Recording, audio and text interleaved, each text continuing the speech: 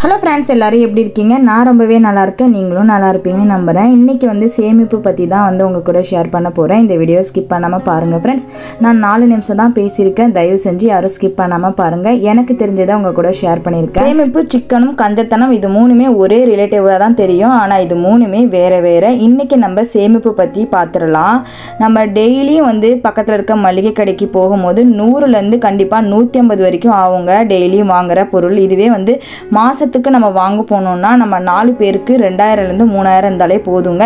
வீட்டுக்கு தேவையான மளிகை சாமான் எல்லாமே வாங்கிட்டு வந்துடலாம் இதுவே பக்கத்தில் இருக்க கடைக்கு டெய்லி நூற்றி ஐம்பதுனா கணக்கு போட்டு பாருங்க. அது நாலாயிரத்தி ஐநூறு கிட்ட போகும். நம்ம டெய்லியும் போயிட்டு வாங்கிட்டு வரும்போது நம்ம வீட்டில் இருந்து காசு எடுத்துகிட்டு போய் கொடுக்குற மாதிரி இருக்கும் டெய்லி. நம்மளுக்கும் ஒரு டென்ஷனாக இருக்கும். நம்ம வீட்டில் பொருள் இருந்துக்கிட்டே இருந்துச்சுன்னா நம்ம டென்ஷன் இல்லாமல் காலையில் சமைக்கவும் ஈஸியாக இருக்கும்.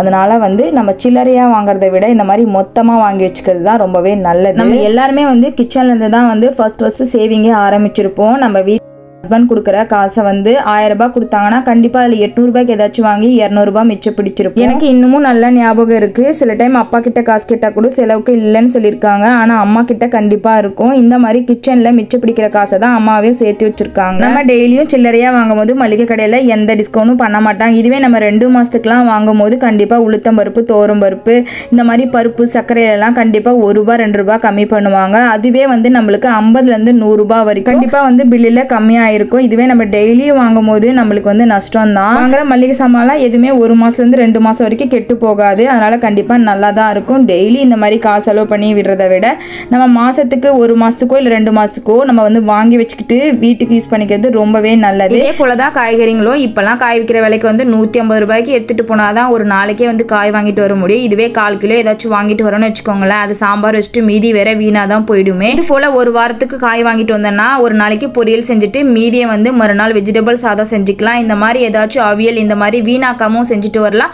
டெய்லி நம்ம காலையில் எழுந்தவுடனே என்ன சமைக்கிறேன் அப்படின்னு அந்த டென்ஷனும் இல்லாமல் கூலாக வந்து நம்மளுக்கு சமைக்கவும் முடியும். ஏன்னா நம்ம வீட்டில் எல்லா காயும் இருக்கும். அதுக்கேற்ற மாதிரி நம்ம அட்ஜஸ்ட் பண்ணி சமைச்சிக்கலாம். ஒரு வாரத்துலேருந்து பத்து நாளைக்கு வரைக்கும் கண்டிப்பாக நம்மளுக்கு இந்த காயெல்லாம் இருக்கும். வெங்காயம்லாம் வந்து கண்டிப்பாக ரெண்டு வாரம் வரைக்கும் நம்மளுக்கு வந்து நாலு கிலோ வெங்காயம் இருக்கும். இந்த காய்கறி மொத்தத்தோட விலை வந்து ஐநூறுரூபா நான் என்னோட ஹஸ்பண்ட் கிட்ட பத்து ரூபாய்க்கு கொத்தமல்லி பத்து ரூபா கருவேப்பிலை பத்து ரூபாய்க்கு பச்சை மிளகா தான் கேட்டேன். ஐநூறுரூபாய்க்கு காய் வாங்கினதுனால எல்லாமே வந்து சும்மா தான் கொடுத்துருக்காங்க. கருவேப்பிலை கொத்தமல்லி புதினா பச்சை மிளகா இது எல்லாமே நம்ம மொத்தமாக வாங்கிட்டு வரும்போது கண்டிப்பாக ஏதாச்சும் கொசுறு கொடுப்பாங்க. அதுவுமே நம்மளுக்கு கொஞ்சம் லாபம் தான் நீங்களே கணக்கு போட்டு பாருங்கள் டெய்லி வந்து ஐம்பதுலேருந்து நூறுரூபா காய்கறி கடைக்கு போனாலே அதுவே வந்து மாதத்துக்கு மூணாயிரரூபா வரும். அதே மாதிரி தான் மல்லிகை சாமாவும் நாலாயிரத்தி ஐநூறுரூபா வரும். இதுவே மாதத்துக்கு மல்லிகை சாமான் வாரத்துக்கு காய்கறின்னு நம்ம வாங்கும் போது கண்டிப்பாக ரெண்டாயிரத்துலேருந்து மூணாயிரம் வரைக்கும் மிச்சம் பிடிக்கலாம். கண்டிப்பாக இந்த மெத்தடை வந்து ட்ரை பண்ணி பாருங்கள் ரொம்பவே யூஸ்ஃபுல்லாக இருக்கும். நம்ம வந்து கிச்சன்லேருந்து தான் நம்ம ஃபஸ்ட் ஃபர்ஸ்ட் வந்து சேமிக்கவே முடியும். இப்போல்லாம் காய்கறி ரேட் வந்து டெய்லி வந்து ஏறிட்டு இறங்கிட்டு தான் இருக்குது நம்ம மொத்தமாக காய் வாங்கும் போது அன்னைக்கு ரேட்டில் எது எது கம்மியாக இருக்கோ அதை மாதிரி பார்த்து வாங்கிக்கலாம்.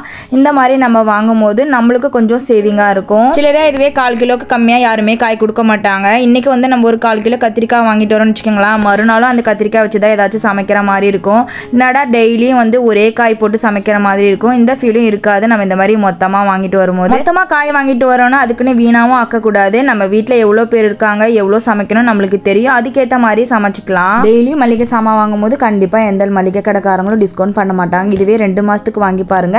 கண்டிப்பாக வந்து டிஸ்கவுண்ட் பண்ணியிருப்பாங்க இதுவே நம்மளுக்கு ஒரு லாபம் தான் மொத்தமாக இந்த மாதிரி பொருள் வாங்கிட்டு வந்து வீட்டில் வச்சு சமைக்கும் போது நம்மளுக்கும் ஒரு சாட்டிஸ்ஃபைடாக இருக்கும். நம்மளும் பிளான் பண்ணி சமைக்கலாம். அதனால் வந்து டெய்லி வாங்குறத விட்டுட்டு ஒரு மாதத்துக்கோ இல்லை ரெண்டு மாதத்துக்கோ காய்கறிலாம் வாரத்துக்கு அந்த மாதிரி வாங்கி வச்சு சமைக்கிறதுக்கு பாருங்கள் நீங்களும் இந்த மாதிரி தான் ஃபாலோ பண்ணிங்கன்னா கண்டிப்பாக எனக்கு ஒரு லைக் பண்ணிவிடுங்க புதுசாக பார்க்குறீங்கன்னா சேனலை சப்ஸ்கிரைப் பண்ணிக்கோங்க ஃப்ரெண்ட்ஸ் இன்னைக்கு எனக்கு தெரிஞ்ச மாதிரி நான் கிச்சனில் எப்படி சேமிப்பு பண்ணுறதுன்னு உங்கள் கூட ஷேர் பண்ணியிருக்கேன்.